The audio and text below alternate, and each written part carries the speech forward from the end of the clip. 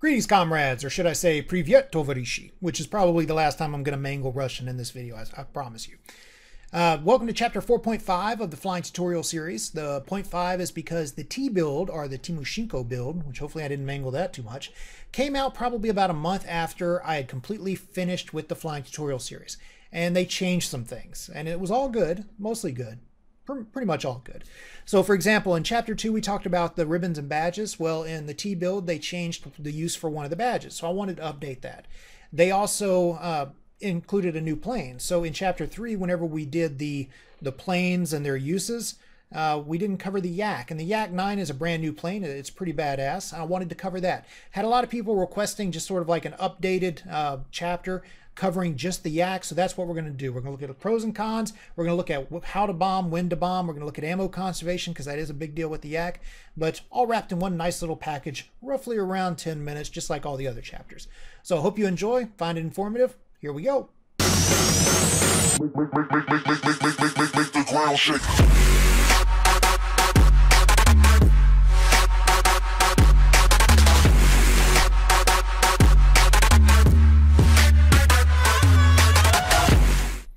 this is Cheap Bastard. He's one of my Soviet pilots. He is Academy trained just because day one I wanted to get in the air, so I bought a level zero uh, pilot. You can see how fast he's he's leveled up.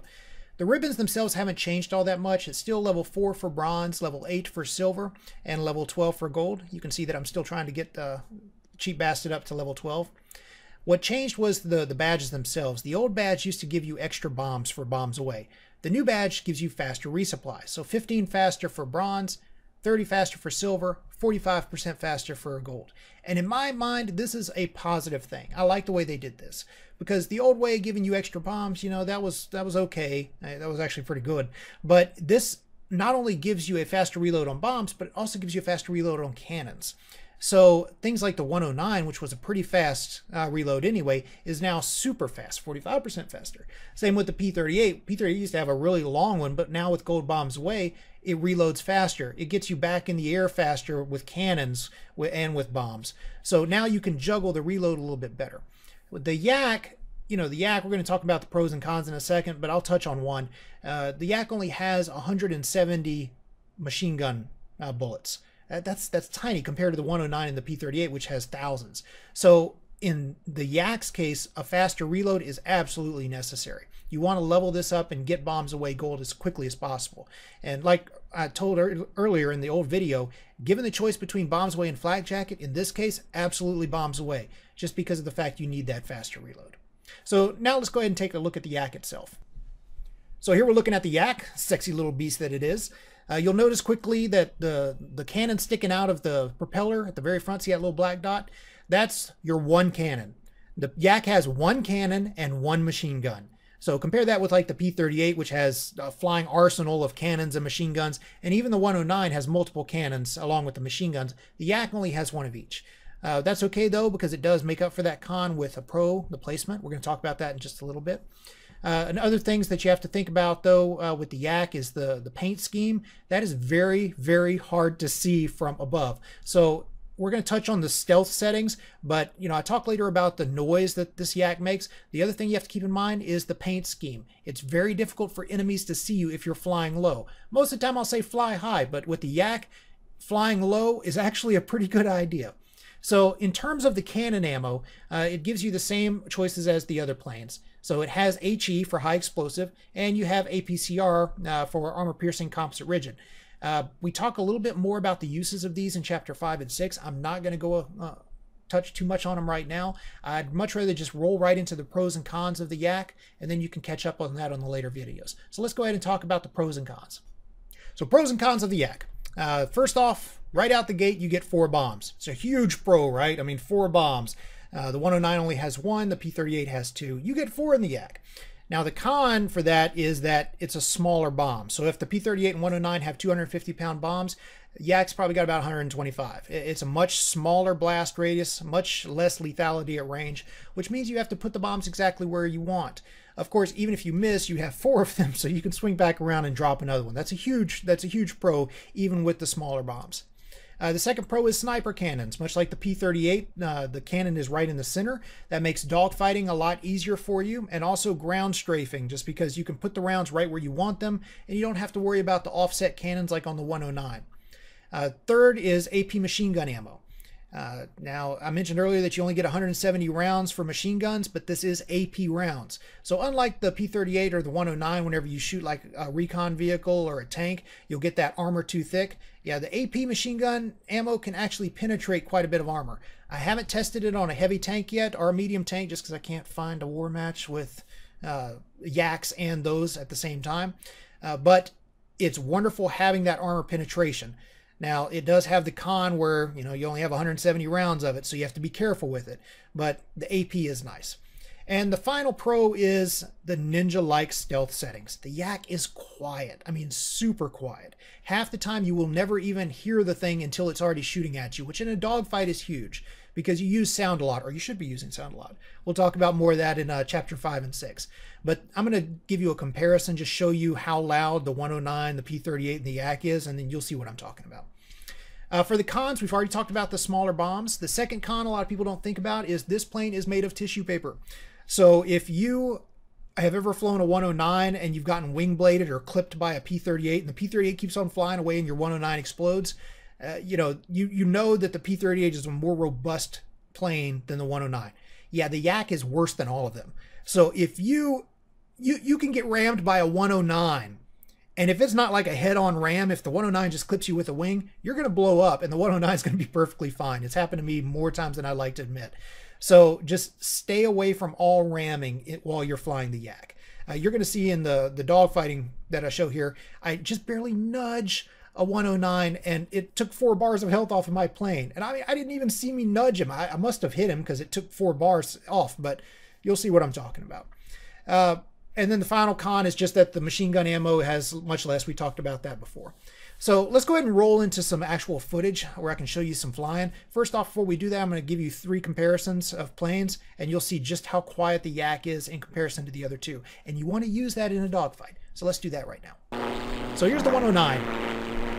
You hear how loud that is, how high-pitched it is?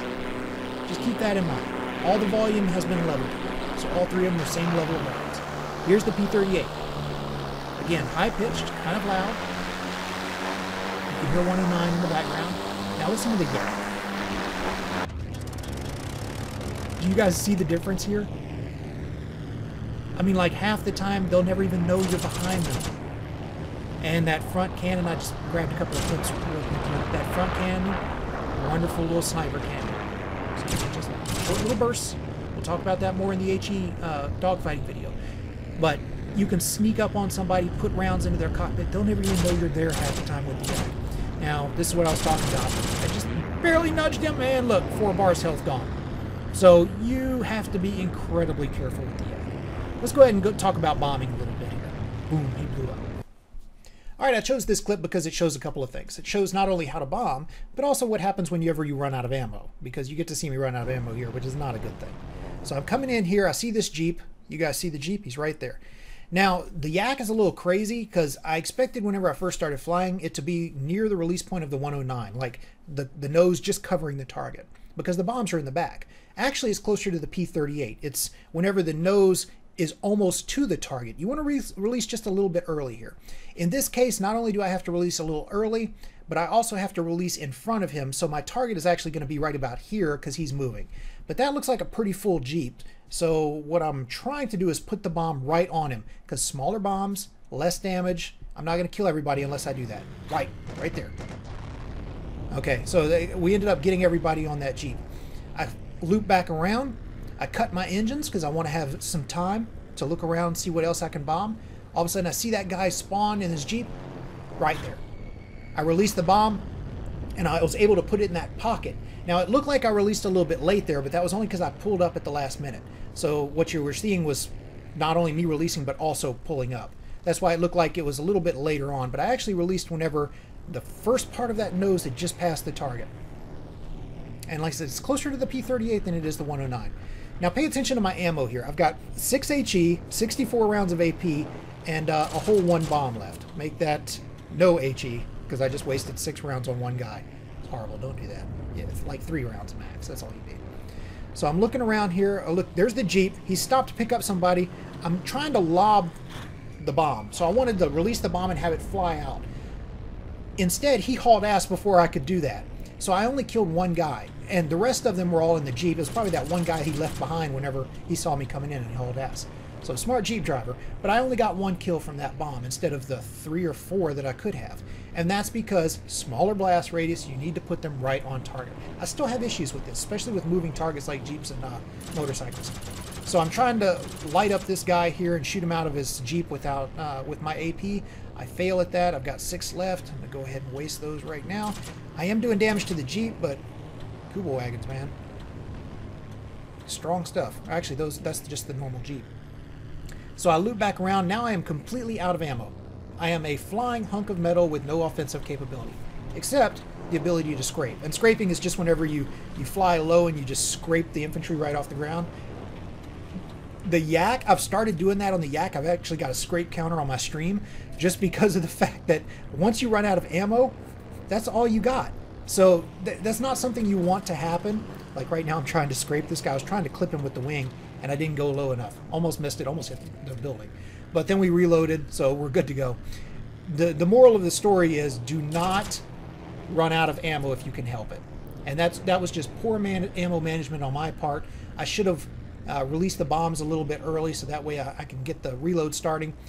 So what you want to happen is as soon as you uh, get to like 90% on reload, you want to have enough HE where you can just blast it all like 10 HE left uh, use it all, and then get the reload again. And you can just keep reloading like that. You just keep that going, keep that rotation going. So I'm to probably show y'all one more bomb here on this little run. Like here's this Jeep right here. And now.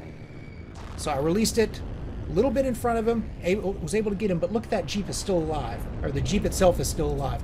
And that's because of those smaller bombs. I was able to kill the guy, but I wasn't able to kill the Jeep. Smaller bombs, guys. You got to be on target.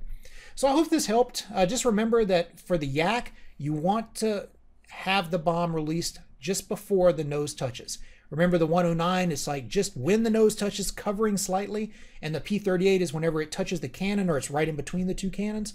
For the Yak, it's a little bit ahead. You don't have that hard line to go off of, but it's just a little bit ahead. Just so if you train yourself on the 109, do it about half a second before you would on the 109 with the yak, and you'll be putting the, the bombs on target. I do still have a little bit of problems lobbing the bombs, just because I think the bombs fall straight down instead of underneath the undercarriage, so you can't sling the bombs like you can with the 109 and the P38. Uh, you know, like the 109, I, I usually say I can put a 109 bomb through a door. I can't do that yet with this one, and I don't know if it's even possible. Uh, like, you know, I'm sure it is, but doing it consistently like that, I still have problems with that. So just try your best with it, get used to it as much as you can, and sooner or later you'll be putting them exactly where you want them. Try not to carpet bomb. I see people going, you know, just spacebar, spacebar, spacebar. So it's boom, boom, boom, boom, boom. Yeah, it looks really cool, but three of those bombs were wasted even if you do get a kill. So what you want is to use one bomb for multiple targets, preferably. Um, or if, if nothing else, then just, you know, that one tank or one Jeep. Try not to carpet bomb. You want to be able to put the bomb in the AA sandbag, that kind of thing, not carpet bomb the whole area. It's just a waste waste of bombs. So guys, I hope this helped you out. I'm sorry that it took me so long in order to get a Yak review up, but uh, getting usable footage is actually a pretty big pain in the ass. Usually takes me a day or two in order to get something that doesn't have fog in it or something like that, uh, that I can actually use for a review. And every day I'm doing this is a day I'm not streaming, and I really like streaming. I really like streaming. Heroes and Generals is a fun game to stream. Uh, if you guys haven't uh, found me yet on Twitch, definitely check me out there. I'm streaming pretty much every day. Uh, the schedule flexes based on work, but most days I'm on there uh, in the afternoons. So I hope you found this of use. I'm going to go ahead and shut up now and let you roll right into the next video. And uh, hopefully you find the whole video tutorial series entertaining and you know somewhat informative. So I'll see you later. Take care. Oh, you like video games? I like video games too. In fact, I like making videos of video games. So if you like what you saw here and you want to see more of it, go ahead and hit subscribe to the YouTube channel. You can also catch me on Facebook, Twitter, or oldmansmithersgaming.com, all of which will let you know whenever I'm online and streaming. Also, make sure you check out some of the videos that we have here. We have other tutorials, we have some Let's Plays. It's just all about having fun. So appreciate y'all joining me. Hope to see you around.